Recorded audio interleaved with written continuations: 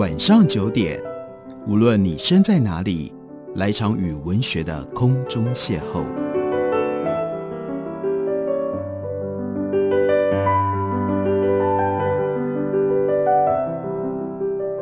杨照谈书，邀您一同遨游文学世界，认识古今中外的经典之作。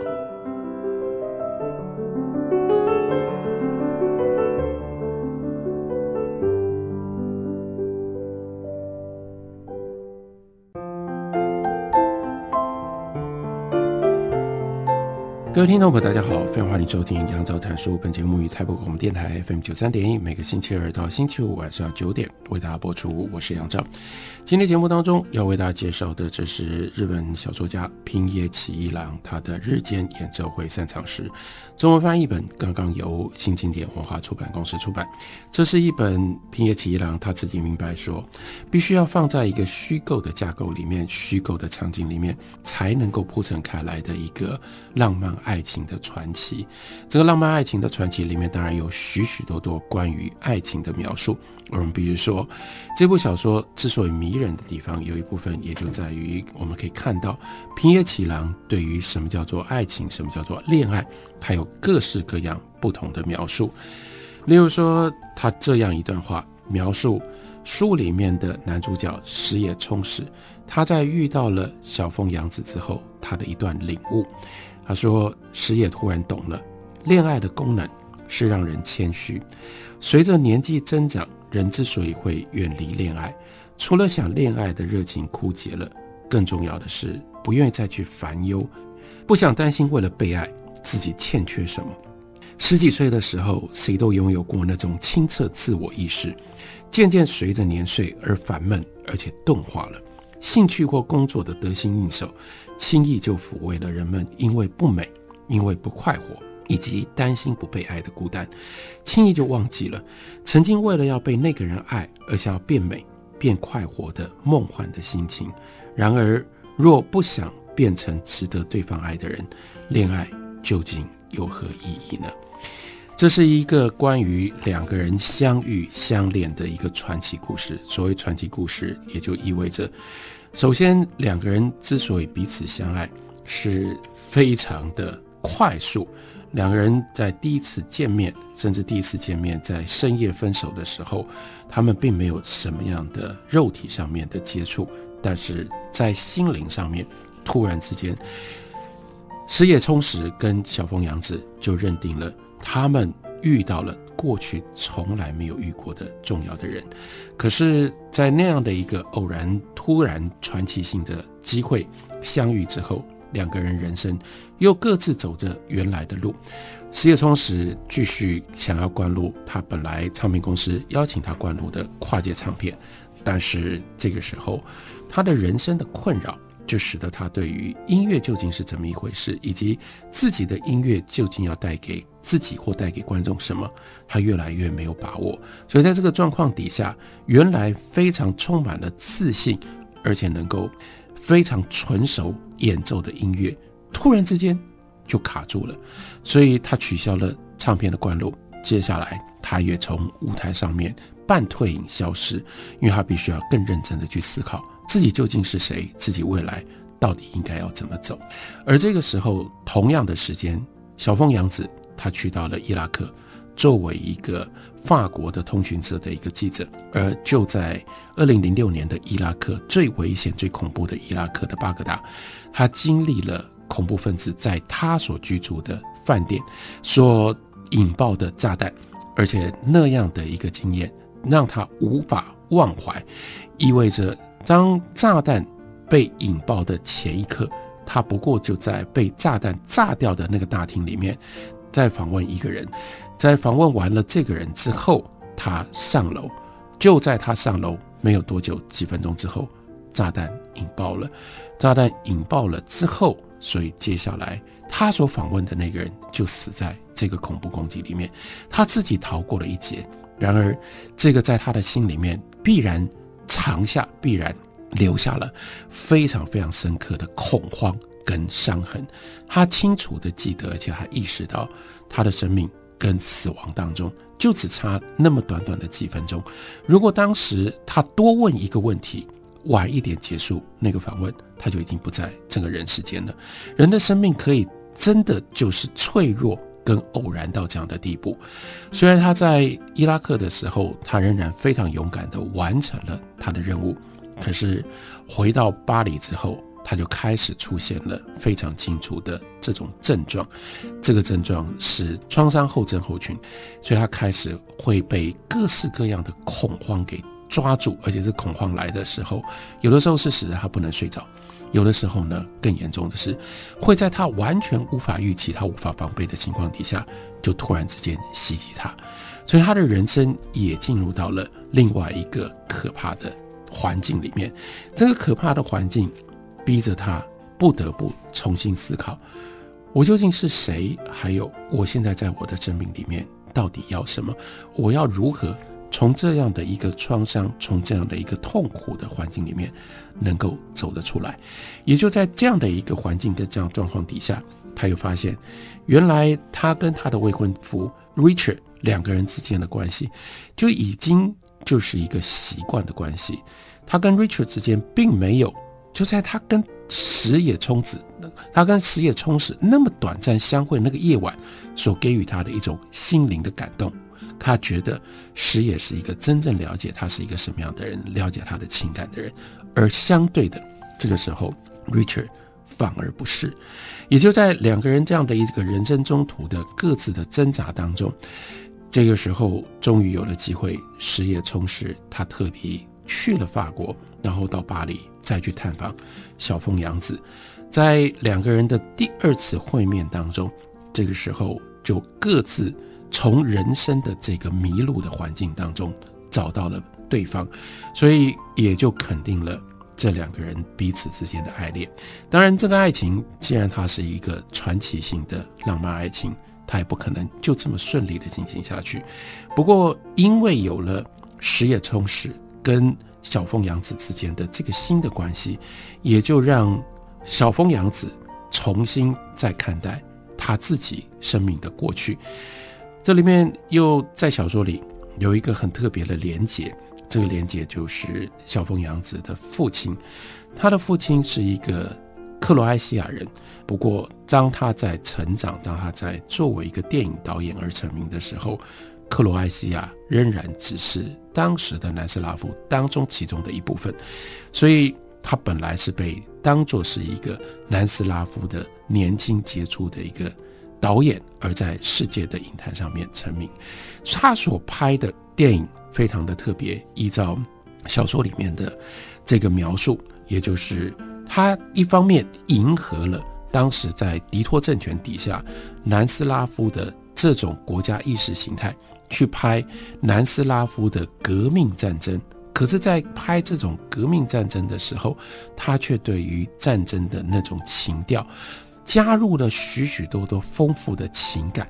它看起来表面上是跟随着官方意识形态的战争的宣传，但是如果真正去看了这个电影的人，会被那样的一种情感，而不是战争跟革命的口号所吸引。但也因为这样，他的人生，他的电影拍摄的生涯就有了一个。转折，也就是他含藏在这种革命宣传底下的真实的感情被识破了，所以他也被揭发。因此，在这样的一个官方的立场底下，他被迫害。在这一部他的重要的成名作作品当中，就用到了动用到了古典吉他的配乐。这也就是为什么石野充实他会知道这位导演，同时他看过这部电影，因为依照小说里面的说法。大部分这一代成长，实业充实他们这一代成长的古典的吉他演奏家，没有人不看这部电影，没有人不听到这样的一个古典吉他的音乐跟电影的结合，产生这么强烈的感情的效果。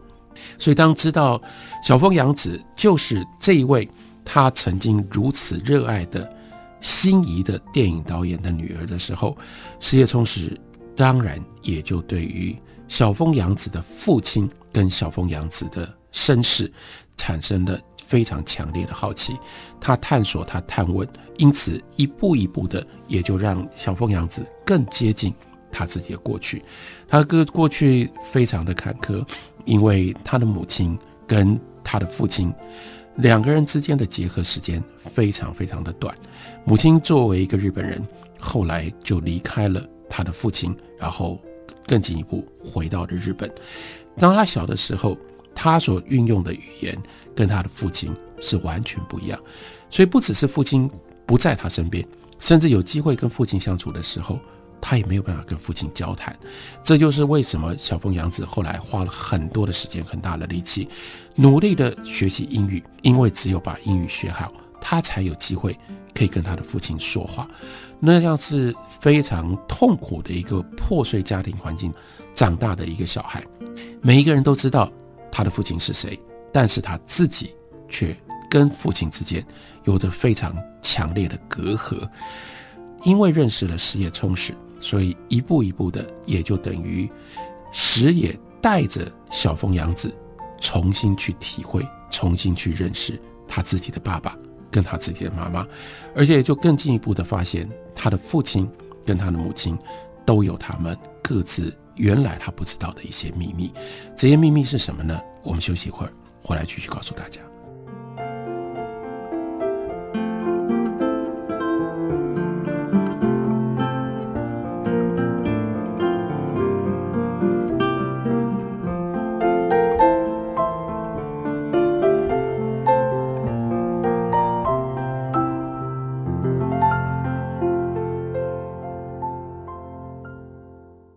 大，这次要找的凶手很狡猾哎，有什么线索？几乎感受不到他的存在，但他却无所不在。等到头痛眼花、肩颈僵硬、心跳加速时，那就糟了啦！我知道了，凶手性高明血压会导致心肌梗塞、脑中风等并发症。在台湾，平均每四个人就有一位是高血压，却有近三成的人一年内没量过血压。难怪我们抓不到他。只有养成量血压习惯，才能及早发现和治疗哦。没错，以上广告由国民健康署提供。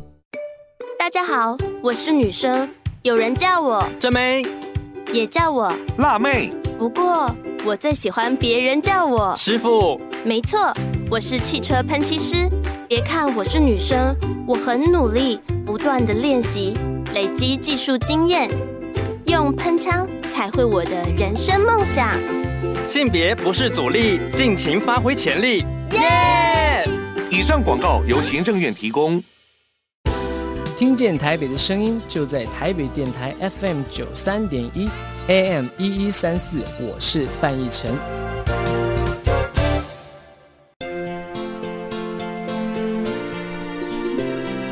这个城市多么美，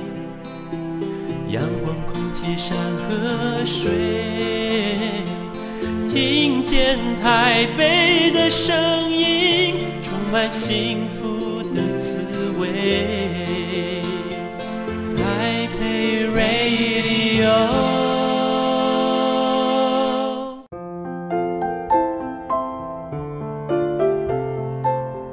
感谢您继续收听《杨照谈书》。本节目于台北广播电台 FM 九三点一，每个星期二到星期五晚上九点为大家播出到九点半。今天介绍的这本书是平野启一郎的小说作品《日间演奏会散场时》。小说里面两位男女主角分别是吉他古典吉他演奏家石野充实跟原来担任记者的小峰洋子。这两个人各自有非常复杂的人生的经历。尤其是小峰洋子，小峰洋子在小说里面，平野启郎赋予他多重的身份跟角色，在小说的过程当中，他一步一步的接近，包括他自己母亲的过去。他的母亲后来搬回到了 Nagasaki，到长崎去居住。他为什么母亲要回到长崎去居住呢？因为母亲在长崎出生，在长崎长大，为了什么离开长崎呢？因为他母亲是长崎原爆的经历者，当第二次世界大战将要结束，美国在广岛投下了第一颗原子弹，接下来又在长崎投下了第二颗原子弹。长崎原爆的时候，小峰洋子她的妈妈就在长崎，换句话说，她的母亲是长崎原爆的幸存者。借由这样的一个经历，平野启一郎他写了一个非常具有思想性、非常特别的一个实存的状态，就是什么叫做幸存者。这样一个人在原爆当中活下来，在他的身体里面，在他的生灵里面，有一些东西是没有办法被拿掉的。没有办法拿掉的，当然第一个是那个恐怖的经验，原爆、原子弹炸爆炸，当时没有任何人有这样的知识，有这样的防备，在一瞬间所产生的那个高温，所产生的那样的一个巨大的爆裂的这样的一个效果，一下子毁灭了整个城市，而且呢，造成了将近十万人。在同一瞬间离开了这个世界上，这是不可想象的，没有办法理解的一个巨大的灾难。可是不只是这样的一个记忆跟这样的一个伤痕，对于幸存者来说，他们还要处理另外一件事，那就是为什么这些人同时间都走了，都死了，我留下来，我留下来的意义到底是什么？或者我留下来是怎么一回事？可是只有这种幸存者才能够真实的体会，是那里面所带有的有一种罪恶感。为什么别人都死了，偏偏只有我活下来了？所以那样的一个罪恶感，那样的一种幸存的痛苦的经验，一方面开始的时候逼着小凤洋子的母亲离开了日本，包括也因为这样。他会爱上小凤洋子的父亲，因为同样都是战争的受难者，或者是身上都带着对于战争的种种的体会，而他一定会在小凤洋子的父亲的电影里面得到一种安慰，因为这个人他有办法拍出这样的战争的电影，让那个战争看起来不是残酷的，不是血腥的，不是可怕的，不是英雄的。而带有一种人生的孤独跟疲惫，那个是真正能够应和像小凤洋子他们妈妈在日本经历长期原爆，他所感受到或他所需要的一种心情跟体会。另外一件事情是，也就是因为作为这样的一个幸存者，后来让小凤阳子的妈妈又回到了长崎，她必须要去面对她自己的这个过去。而也就从这里，另外产生了，在这本小说当中，平野启一郎动用的非常重要的一个隐喻，多次不同的角色都提到了另外一本小说作品，那就是汤姆斯曼的《魂断威尼斯》。《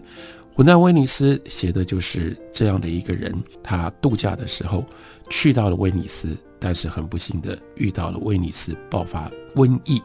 他本来是有机会可以。在瘟疫袭击之前，在感染上自己染病之前，离开威尼斯。可是偏偏有这么样的一个情怀，有这样的一个关系，让他一直待在威尼斯，留在威尼斯。那就是他看到他爱上了这样的一个美少年。所以换句话说，那就是一个非常非常高度的 death wish，那样的一种死亡的本能，跟爱情结合在一起，构成了。汤姆斯曼《混乱威尼斯》里面的这样的一个主题，这个主题接下来就贯穿了平野启一郎所写的《时野充实小凤杨子》，以及环绕着他们的所有这些其他的人。对人在追求爱情的过程当中，似乎在这个爱情里面会随时一直都混杂着一种毁灭性的冲动。另外一件事情就是罪恶感也贯穿在。这个小说的作品当中，小说作为一个浪漫爱情的传奇，它有一个最传奇性的东西，也就是最不写实的。我们刚刚讲了，很不写实的是，这两个人在第一次相见的时候就爆发出这样的一个深刻的彼此的互相吸引跟爱恋的感觉。第二次两个人在巴黎相会的时候，就肯定了这样的一场爱情，而这个爱情甚至强烈到刺激到让小凤杨子。决定要跟他的原来已经订婚的未婚夫，即将要在准备筹备婚礼的这样的一个关系断绝开来。他跟石野充实两个人这么短暂的一个关系，这个时候在他强度上以及重要性上面，甚至超过了他跟 Richard 跟他的未婚夫之间的关系。这都是具备有高度传奇性的。但是更传奇性的是。接下来两个人说好了，在更进一步的环境当中，小峰洋子要到东京来找石野充实，可是就在他到东京的那个环境当中，那样的一个当下，事业的充实对他来说，像他的父亲一样取代他父亲的一位吉他老师，却因为中风入院。石野充实赶到医院里面去照顾他的老师，所以他没有办法到车站去接小凤洋子，偏偏又在那样的一个阴错阳差的过程当中，他又掉了他的手机，他只好找他的秘书，找他的经纪人去把他手机找回来。可是他的这个经纪人，他的这个秘书，同时也是长期以来一直就暗恋石野充实的早苗，所以早苗在理解了这整个状况之后。就是在偶然巧合的情况底下，他拿到了石野的手机，他就用石野的手机写了一封模仿石野的语气，告诉小凤洋子要跟小凤洋子分手的一封简讯。这个简讯彻底的改变了小凤洋子跟石野充实两个人之间的命运。因为这样，所以小凤洋子心碎离开了日本，回到巴黎，接着又从巴黎。搬到纽约去，跟 Richard 结了婚。可是他跟 Richard 结婚之后，在二零零八年的金融海啸来袭之后，他又面临到他生命不得不面对的这个考验，意味着他无法认同他的先生那个时候已经是他的丈夫，也是他新生的儿子的爸爸。可是他所从事的行业对他来说是充满了各种不同的不合理以及罪恶的性质。这些人，他们为了追求自己的财富，他们设计了各式各样金融的巧妙的轨迹，用这些包装成为最新的金融产品。除了他们之外，没有任何人能够真正正确的了解这些金融产品的内容，却把它包装起来，销售给各式各样的带有投资梦想的这些投资大众。最后，在泡沫破裂了。海啸来临之后，这些人他们继续过他们自己的生活，继续保有他们在华尔街所能够享受的所有的这一切，但是却做事。当时被他们的产品所吸引的这些人，在海啸当中失去了他们的房子，失去了他们的财产，破产，然后流离失所。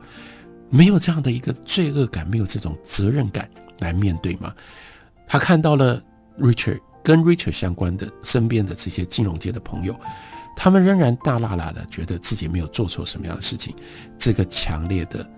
挑战，强烈的挑衅了小凤洋子他的道德概念。另外一件事情，接下来